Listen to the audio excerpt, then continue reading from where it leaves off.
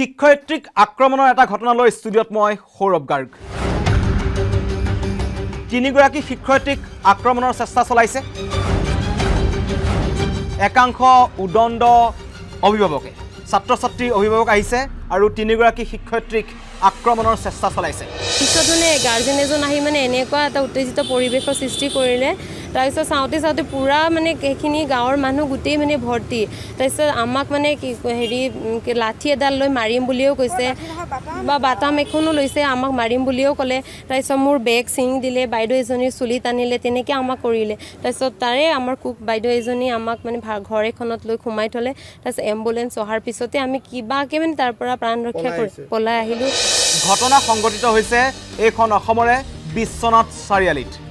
বিশ্বনাথ চাৰিআলিৰ গোৱালতলী প্ৰাথমিক বিদ্যালয়ৰ তিনিগৰাকী শিক্ষয়িত্ৰীক প্ৰাণে মৰাৰ চেষ্টা একাংশ অভিভাৱকৰ। আৰু কথমপুৰী বিদ্যালয়খনৰ পৰা পলাই নিজৰ প্ৰাণ ৰক্ষা কৰিছে এই তিনিগৰাকী শিক্ষয়িত্ৰীয়ে যি কৰ্মৰত আছিল গোৱালতলী প্ৰাথমিক বিদ্যালয়। বিশ্বনাথ চাৰিআলিৰ গোৱালতলী প্ৰাথমিক বিদ্যালয়ত কৰ্মৰত আছিল তিনিগৰাকী শিক্ষয়িত্ৰী।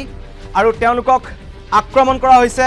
আক্ৰমণ কৰাৰ কৰিবলৈ আহিছিলে হাতে হাতে বাটাম লৈ একাংশ অভিভাৱকে। সেইখন বিদ্যালয়ৰে ছাত্ৰ ছাত্ৰীৰ একাংশ অভিভাৱকে তেওঁলোকক আক্ৰমণ কৰিবলৈ চেষ্টা চলাইছিলে। আৰু আমাৰ হাতত তথ্য আহিছে শিক্ষয়িত্ৰী কেইগৰাকীক তিনিগৰাকী শিক্ষয়িত্ৰীক যিহেতু আক্ৰমণৰ লক্ষ্য কৰি লৈছিল তেওঁলোকৰ চুলিত ধৰি বগৰাই দিয়া হৈছিল আৰু তেওঁলোকৰ গাটো হাত দিয়াৰ অভিযোগ উত্থাপন কৰিছে। তেওঁলোকক গাত হাত দিয়া হৈছিল বুলি অভিযোগ আনিছে তিনি শিক্ষয়িত্ৰীয়ে। আৰু হাতে হাতে বাটাম লৈ একাংশ লোকে আক্ৰমণৰ চেষ্টা চলাইছিল এই তিনিগৰাকী শিক্ষয়িত্ৰীক মোক একে চুলিত এনেকৈ ধৰিছে মই কিবাকে বাচি আহিছোঁ একে ইয়াত হাত দিছে তাৰপিছত এই বাইদেউকো এনেকুৱা বেগ ভাঙি মানে ছিঙি দিছে টানি দিছে। আমি মানে কোনোমতে তাৰ পৰা তিনিজন মানুহ আছিলে আমাৰ কুক বাইদেউ আৰু তাৰে এজন আছিলে। তেওঁ আমাক এখন তাৰ বাইক এখনত উঠাই পেলাই আমাক তাৰ পৰা পঠিয়াই দিছে। কিন্তু আমি কোনোমতেহে তাৰ পৰা পলাই আহিব পাৰিছোঁ। ঘটনাৰ প্ৰসংগলৈ আহোঁ।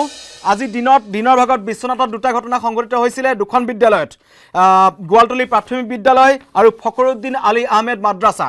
এই দুখন স্কুলত চৰকাৰী চৰকাৰৰ ফালৰ পৰা স্বাস্থ্য বিভাগৰ ফালৰ পৰা পেলু আৰু ফাইলেৰিয়াৰ প্ৰতিষেধক দিয়া হৈছিল শিক্ষাৰ্থীসকলৰ মাজত। আৰু এই পেলু আৰু ফাইলেৰিয়াৰ প্ৰতিষেধক সেৱন কৰাৰ পিছতেই কিন্তু অসুস্থ হৈ পৰিছিল এই দুয়োখন বিদ্যালয়ৰ একাংশ ছাত্ৰ ছাত্ৰী প্ৰায় অৰ্ধ শতাধিক ছাত্ৰ ছাত্ৰী অসুস্থ হৈছিল আৰু তেওঁলোকক চিকিৎসালয়ত ভৰ্তি কৰোৱা হৈছিল। দিনৰ ভাগত হৈছিল এই ঘটনা। মেডিচিন যোনটো বিলোৱা হৈছিলে চৰকাৰৰ ফালৰ পৰা পেলু আৰু ফাইলিয়া সেইটো কি হ'ল এতিয়া মানে হেল্থ ডিপাৰ্টমেণ্টৰ পৰা খোৱালে? স্বাস্থ্য বিভাগৰ ফালৰ পৰা দিয়া চৰকাৰীভাৱে দিয়া ঔষধ সেৱন কৰিছিল আৰু ঔষধ দিছিল কিহৰ? পেলু আৰু ফাইলেৰিয়াৰ।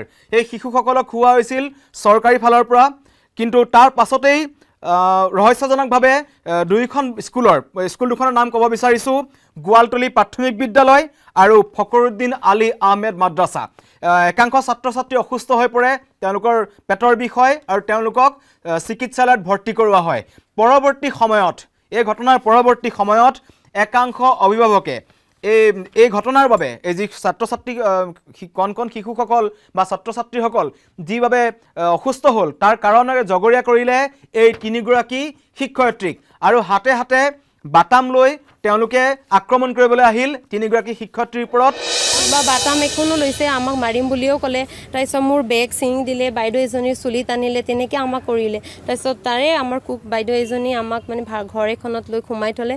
তাৰপিছত এম্বুলেঞ্চ অহাৰ পিছতে আমি কিবাকৈ মানে তাৰ পৰা প্ৰাণ ৰক্ষা কৰি পলাই আহিলোঁ।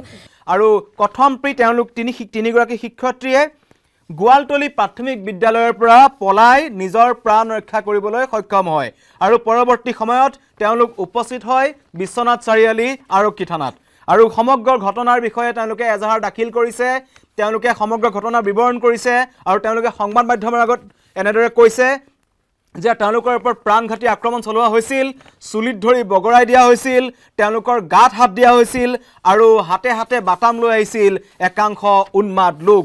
যাৰ যিসকলে এই শিশুসকল যিহেতু অসুস্থ হ'ল স্বাস্থ্য বিভাগৰ ফালৰ পৰা যি ঔষধ বিতৰণ কৰা হৈছিল বিনামূলীয়াভাৱে তেওঁলোকক স্কুলত খুওৱা হৈছিল তাৰ বাবে জগৰীয়া কৰিলে কিন্তু এই গোৱালতলী প্ৰাথমিক বিদ্যালয়ত কৰ্মৰত এই তিনিগৰাকী শিক্ষয়িত্ৰীক। আৰু এই ঘটনাৰ সন্দৰ্ভত ইতিমধ্যেই বিশ্বনাথ চাৰিআলি আৰক্ষী থানাত চাৰি এজন শিক্ষক আৰু তিনিগৰাকী শিক্ষয়িত্ৰীয়ে এই ঘটনা সন্দৰ্ভত এজাহাৰ দাখিল কৰিছে।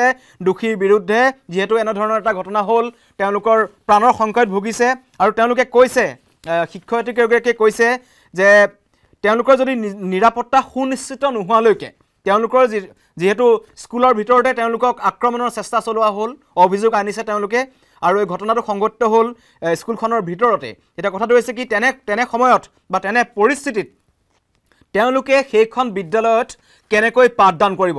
যাৰ বাবে তেওঁলোকে কৈছে যে আমাৰ নিৰাপত্তা সুনিশ্চিত নোহোৱালৈকে আমি বিদ্যালয়খনত পাঠদান কৰাৰ পৰা বিৰত থাকিম। শিক্ষয়িত্ৰীগৰাকীয়ে স্পষ্টভাৱে এই কথা কৈছে। নিৰাপত্তা নোহোৱালৈকেতো তাত যাব নোৱাৰি। কাৰণ আমি যিহেতু শিক্ষয়িত্ৰী তাত ইমানজন মানুহে আমাক এদিনতে এনেকুৱা কৰিছে আকৌ পিছলৈ কি হয় সেইটো আমিও নাজানো। সেইকাৰণে আমাক নিৰাপত্তা নোহোৱালৈকে আমি তাত যাব নিবিচাৰোঁ। নাই নাই পাঠদান দিব বিচৰা নাই। যে আমাৰ নিৰাপত্তা সুনিশ্চিত নোহোৱালৈকে আমি বিদ্যালয়খনত পাঠদান কৰাৰ পৰা বিৰত থাকিম। যিহেতু তেওঁলোকক আক্ৰমণৰ লক্ষ্য কৰি লৈছে তেওঁলোকে পাঠদান পঢ়োৱা একাংশ ছাত্ৰ ছাত্ৰীৰ অভিভাৱকে। যিহেতু ঘটনাটো যিটো ঘটনা ঘটিল দিনৰ ভাগত সেইটো অতি দুখৰ ঘটনা। যিহেতু কণ কণ ছাত্ৰ ছাত্ৰীসকল অসুস্থ হ'ল তেওঁলোকক যিটো যেনেধৰণৰ ঔষধ দিয়া হৈছিল সেইটো স্বাস্থ্য বিভাগৰ ফালৰ পৰা দিয়া হৈছিল বা চৰকাৰীভাৱে দিয়া হৈছিল পেলু আৰু ফাইলেৰিয়াৰ দৰৱ তেওঁলোকক খুওৱা হৈছিল। কিন্তু সেইটো সময়ত এতিয়া প্ৰশ্ন হৈছে সেই সময়ত স্বাস্থ্য বিভাগৰ কোনো লোক সেই স্কুলখনত উপস্থিত আছিল নে নাই? বা ঔষধ যিহেতু বিতৰণ কৰিবলৈ আনিছে কোনে ঔষধ বিতৰণ কৰিবলৈ আনিছিল? বা তেওঁলোকৰ লগত কোন কোন আহিছিল? স্বাস্থ্য বিভাগৰ লোকৰো নাম সাঙুৰ খাব এই ঘটনাত যিহেতু চৰকাৰীভাৱে দিয়া হৈছিল ঘটনাৰ তদন্ত কৰিব বিশ্বনাথ আৰক্ষীয়ে। আৰু এই ঘটনাত জড়িত কোনসকল লোক আছে তাকো বিচাৰি উলিয়াব। কিন্তু প্ৰশ্ন হয় যে এনেদৰে যদি বিদ্যালয়ৰ ভিতৰতেই স্কুলৰ ভিতৰতেই শিক্ষয়িত্ৰীৰ ওপৰত আক্ৰমণ হয় তে ছাত্ৰ ছাত্ৰীয়ে কি শিকিব তেওঁলোকৰ অভিভাৱকসকলৰ পৰা? এই ঘটনাৰ লগত আচলতে প্ৰকৃততে এই তিনি শিক্ষয়িত্ৰী ভুল নেকি? স্বাস্থ্য বিভাগৰ দৰৱ খাই দৰৱ সেৱনৰ পিছতে প্ৰকৃততে কিন্তু সেই ছাত্ৰ ছাত্ৰীসকল অসুস্থ হৈছিল। আৰু মই যিমান দূৰ আমাৰ হাতত যিমান দূৰ তথ্য আছে এই ছাত্ৰ তিনিগৰাকী শিক্ষয়িত্ৰীয়ে কিন্তু ব্যক্তিগতভাৱে শিশুসকলক বা ছাত্ৰ ছাত্ৰীসকলক কিন্তু এই দৰৱ দিয়া নাছিল। সেই দৰৱ স্বাস্থ্য বিভাগৰ ফালৰ পৰা আহিছিল। স্বাস্থ্য বিভাগে দিছিলে চৰকাৰীভাৱে ঔষধ বিতৰণ কৰা হৈছিলে।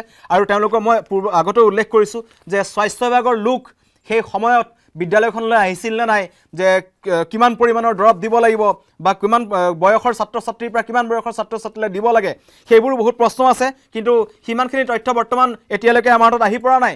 কিন্তু প্ৰশ্ন হয় যে এই গোটেই যিহেতু অসুস্থ হৈছিল ছাত্ৰ ছাত্ৰীসকল অৰ্ধ শতাধিক ছাত্ৰ ছাত্ৰী তাৰ পিছতেই কিন্তু একাংশ লোকে জগৰীয়া কৰিলে এই তিনিগৰাকী শিক্ষয়িত্ৰীক। কিন্তু সঁচাকৈয়ে এই শিক্ষয়িত্ৰীগৰাকী গাত আছে জানো ভুল? তেওঁলোক কিহৰ কাৰণে আক্ৰমণৰ বলি হ'ল?